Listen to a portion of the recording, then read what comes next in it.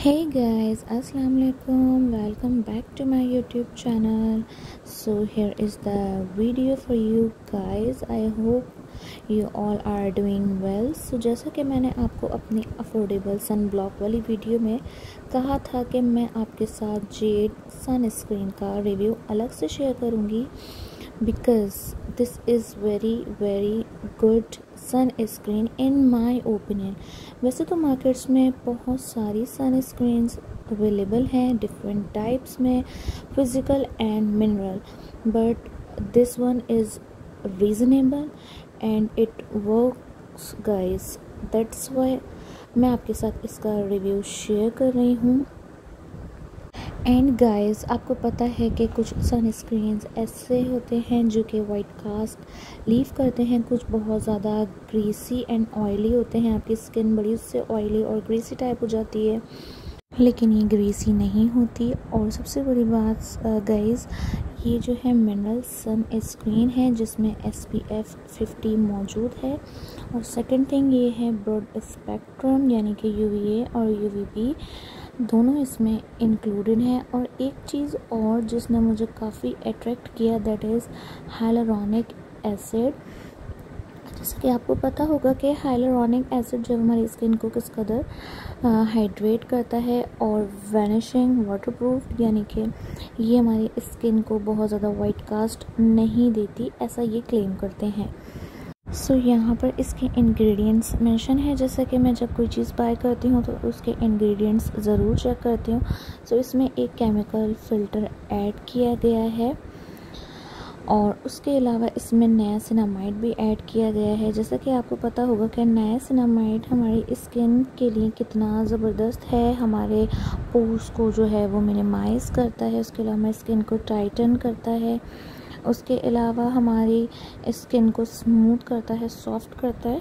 और इसकी अच्छी बात ये है कि ये काफ़ी रिजनेबल प्राइस में चीप प्राइस में मार्केट्स में अवेलेबल है। I think it's a Pakistani brand और यहाँ पर जो है मेंशन है, लेकिन इनके जो प्रोडक्ट्स वगैरह हैं आई थिंक वो ये लंदन वगैरह कहीं से मंगवाते हैं और उसके बाद इसको ये प्रिपेयर करते हैं। मैंने ये बिन सफ़ीर से बाई की थी, जो कि जौहर में जिसकी ब्रांच मौजूद है, वहाँ से मैंने इसको बाई किया था और मैंने इसको जस्ट रुपीज़ फोर हंड्रेड का बाई किया था जब मैंने घर आकर इसको चेक किया ऑनलाइन सो इसके रेट्स जो हैं वो काफ़ी हाई पर थे हाई थे। लाइक एट हंड्रेड तक इसके प्राइजेस जा रहे थे। आप इसकी पैकेजिंग भी चेक करें, काफ़ी अच्छी है। क्वालिटी मैटर्स और आप देख सकते हैं कि एक छोटी सी ट्यूब है ये और इस कदर ब्यूटीफुल इन्होंने इसकी पैकेजिंग को रखा है। यानी कि इन्होंने हर चीज़ को मद्देनज़र रखा है इसको तैयार करने में। विथ रिज़ल्ट विथ पैकेजिंग हर चीज़ का इन्होंने एक मैार रखा है। और सबसे इसका जो मेन गुड पॉइंट मुझे लगा कि ये वाइट कास्ट बिल्कुल भी लीव नहीं करती है। खैर, बहरहाल जो भी है, अगर आप कोई सनस्क्रीन यूज़ करते हैं तो काइंडली उसको विद इन सिक्स मंथ आप कंप्लीट ख़त्म कर दें यूज़ करके। यही बेस्ट तरीका होता है सनस्क्रीन को यूज़ करने का। और इसके अलावा इसका जो बेस्ट पॉइंट ये है कि ये वाइट कास्ट लीव नहीं करती सो दैट वो गर्ल्स वगैरह जो मेकअप करती हैं उसको डायरेक्ट अप्लाई कर सकती हैं अपनी स्किन पर। और उसके बाद जो है वो ईज़िली अपना मेकअप वेयर कर सकती हैं तो उनका चेहरा जो है वो बुतों वाला नहीं लगेगा। सो so, यहाँ पर जो है मैं आपको इसकी एप्लीकेशन करके दिखा देती हूँ।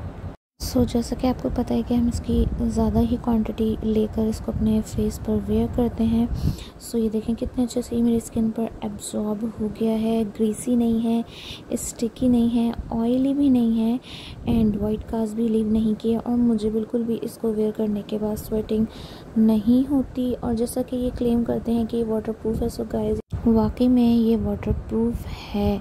और स्किन पर जो है तकरीबन सिक्स टू एट आवर्स तक स्टे करता है।